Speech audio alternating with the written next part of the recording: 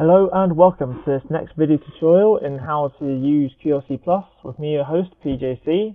Today we're going to continue to look at the Functions tab. So under Functions, so far we've covered scenes and chasers in the previous video. Um, today we're going to be looking at um, sequences, effects, collections, and RGB matrices. So let's start with the simplest of these four, which is collections. So if I click here and create a new collection, I can call it, say, um, let's call it different bars, different bars underscore 01. So a collection is basically a group of scenes or functions all combined together. So into this, I can press the plus button and add these different scenes. So let's say pick one, three, and five. So if I then have that collection activated, I will have um, bars 1, 3 and 5 turned on. Nice and simple. Um, now let's get into something a bit more complicated. Let's look at chasers. So now let's look at sequences. Sequences are similar to chasers as in they have different steps where you step through. However, they are different but the fact that they only can run within inside the scene. So if I, for example, select bars all and then create a new sequence, let's call this uh, run underscore 01. So chasers, we added a the individual bars in, into the chaser. For sequences, we can add the different steps into it. So if I tab into the all fixtures view so I can see them all at the same time, and let's say put number one on, then add a step, then number two on, add step, number three on, add step, number four on, add step, number five on, add step, and finally number six on and add that step. Now if I bring up the fixture monitor and just pin that to the left there and play through it, you can see it flicks through those. So if we again slow it down, so it takes one second to hold between each one. It will run between, uh, and start it from the beginning, and it always helps. It will play through each of those different ones. That first one is currently being held on because that's the step that it's on top of at the moment. So I can then step backwards and forwards through those and just play those. So you can step back along it, forward along it, using the buttons up there. I can also stop the playback or preview the playback again. We also have copy, cut and paste functions up here. So if I selected the first six steps and copied them, I could then paste them. So I could, it would then play through all of these twice. Then, like sequence, uh, like chaser, sorry, we have all the different functions such as loop, ping pong, single shots, going forwards, backwards, and then fade in, fade out, and step durations. Again, the same as chasers.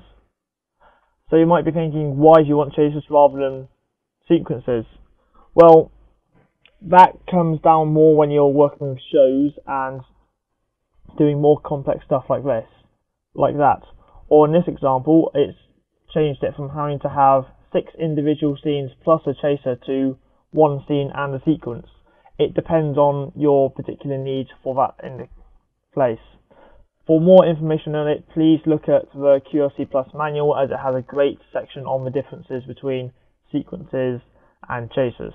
So that's sequences and collections covered. Um, let's look at effects. Effects are designed for moving lights. So in our environment, we have um, two moving lights. So I'm going to select those two. So we've got you click on that and it imports those two lights. So we've got a couple of different things here. So we've got the name of it, uh, name of different lights. We've got the direction, so we can reverse the direction of it. Right, so you want one light going forwards while the other one light goes backwards. You can offset it by so many degrees. So if you're changing the pan, you can offset it by say 180 degrees, depending on what your light will allow. And then you've got a general intensity which you can change. So if we go into the movement, you can see here that both of the lights are going round there and creating a circle movement.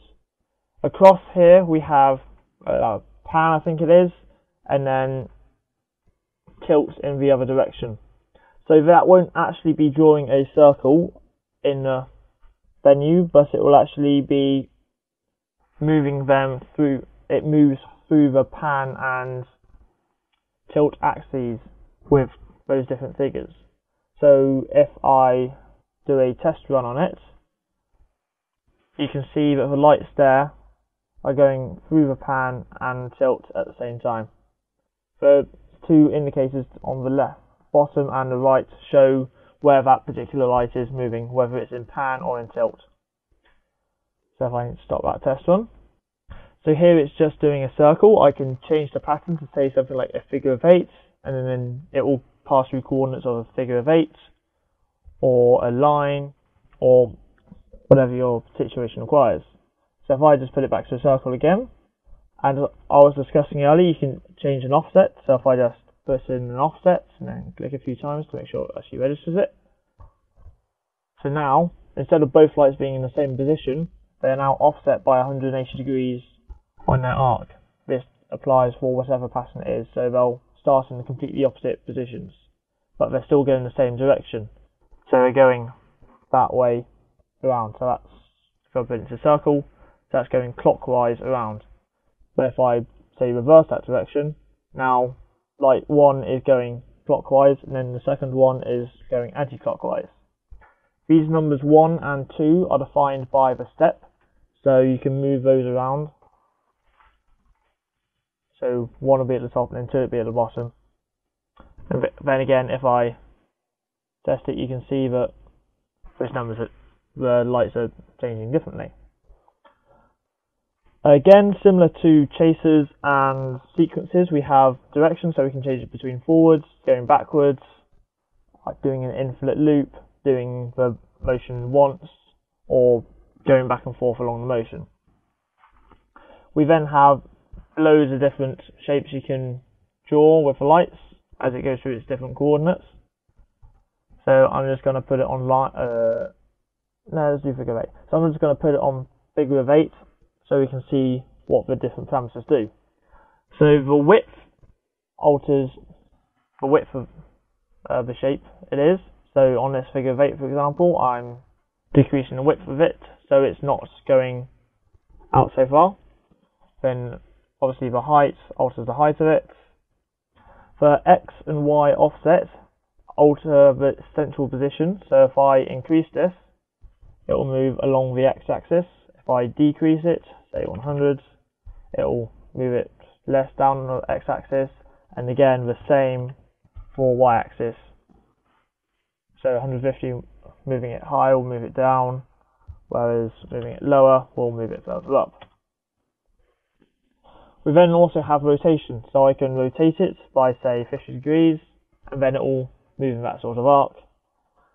And again, rotation offsets, I can rotate it, and then the lights will be rotated round. For more complicated patterns like the Lissajous, or however you want to pronounce that, um, you've got things like frequency and phase. So frequency increases the amount of times that it goes through that cycle and you can just play around with that until you get your desired results.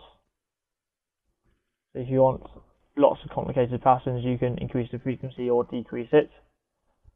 Phase is how much they're out of a line with each other per uh, cycle it goes through and then again that goes through both the x and y axis which can create some really interesting bizarre, quickly moving patterns. Um, finally, going to have a look at RGB matrices. So if we create a new RGB matrix, we can't do anything with it because we need to create a group. This is something I didn't cover in the early tutorials, but now I'm looking at the matrices, I'm going to look at it. So here we've got the fixture groups, and this is just all the lights we have in the first universe. What we can do is create individual groups within this. So I can select bars 1 through 6, right click, add the fixtures to a group. Let's call this group bars. And then create an initial state. I'm going to create it a width of 6 and a height of 1. So now if we look at the bars, it has each bar going across sideways like that. So we can create as many groups for each set of lights as we want. So I'm selecting the bars again, and let's create this called bars 2 by 3. So let's create it, or 3 by 2 rather. 3 by 2. So let's create it 3 wide and 2 high. So now if we look at that group, the bars are in that, that form of grid. I'm going to move them around so they're in more correct positions. So one will be there, two will be there, three will be there, four, five and six. So we got odds along the bottom and then evens along the top.